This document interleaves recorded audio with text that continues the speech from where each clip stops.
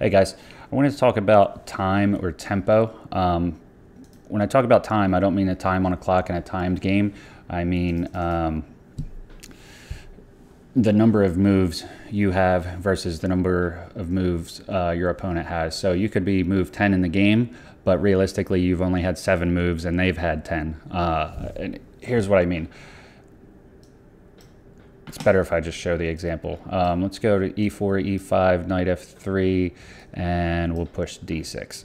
Right, this is a common idea of losing moves um, to your opponent. So let's say we just artificially check the king, you know, you say, woohoo, I got to check the king, but did it really do anything? They could kick you out like that, and now you're just left either backing up and then you're kicked around the board and now your bishop is potentially going to get trapped so now you got to make a retreat square and you know after all that black just gained a, gained a ton of uh, you know a ton of space not a whole lot of ac activity with you know getting their pieces developed but um, you just wasted a lot of moves trying to uh, get your bishop in the game. Or let's just say they bring their bishop out right away. Well, now you're left to make a choice. Are you going to retreat and have having moved the uh, bishop twice in the opening um, when you could be developing something else? Are, are you going to defend it? Um, and you know you'll see this a lot in amateur games where they just capture, capture. Well, now you just you helped black develop. Um, you didn't really do anything. You got rid of your bishop right out of the opening just so you could check the king. So look out to, uh, to see if you're doing that in your own games. Are, are you checking a king artificially just, you know, just for the sake of checking the king? Um, sometimes it's good to do if you're trying to get to a certain square. Let's say I wanted my bishop on a4, so I might come in with that check and, and reroute, or maybe I wanted to provoke a pawn push for some reason.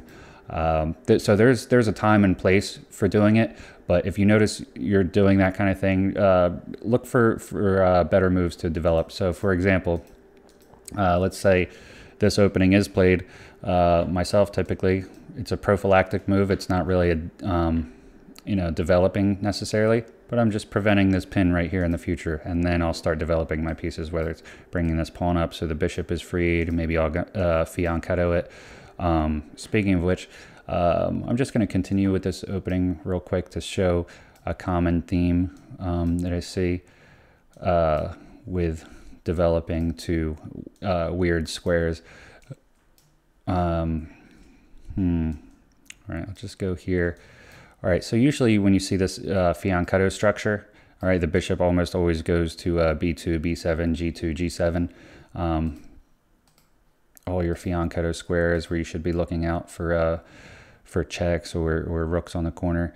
Um, a lot of times you'll see the bishop get developed to weird squares like the um, like a3 or h3, um, h6, a6, where a lot of times it ends up getting kicked around. The, the, usually the point of opening to uh, your pawn to b3 is to get this nice diagonal here. Sure, um, like this diagonal, for example, it wouldn't be as good because you, have got this pawn chain that doesn't look like it's going to be breaking anytime soon.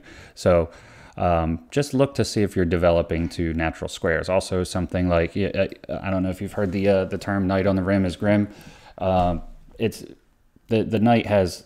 I'll I'll just move here just to show the. Um, let's just make it whatever move, just to show what it does. All right, unless you absolutely need to come to the rim. um, you really shouldn't do it, bother doing it unless you're Maxime Vachier-Lagrave. That usually uh, a lot of his games, he play plays on the rim and somehow pulls it out. Um, you know, he's it, the exception to the rule. But uh, look how many squares this knight has. Can't even go here. It can go to its original square and it can go to uh, b5 and c4. So that's why typically the knight, knights are developed in the center. And then also like I said about that bishop, developing into its more natural square, right? Look how long this diagonal is. It controls a lot. Eventually, when the game opens up, uh, you know, it could uh, end up attacking the king, especially if you get some kind of, um, you know, you could have a piece sack on uh, h6 that opens up here, and then you get your, your queen or a rook on this file. So really, the uh, the bishops do a better job on the longer di diagonals if you're looking for just somewhere to place it in the opening for a, develop, a developing move. So Um, yeah, that's my rant on time and tempo. Uh, make sure when you're making moves that you're doing moves that may, that make sense. You're not checking the king just for uh, the sake of checking the king, or going to a square that's easily attacked, and you're going to get kicked right back, and you're giving your opponent an extra move. So if you got any questions, feel free to comment below. And um, if there's something you'd like to learn about next, something you're having trouble with, also feel free to comment. All right, see you guys next time.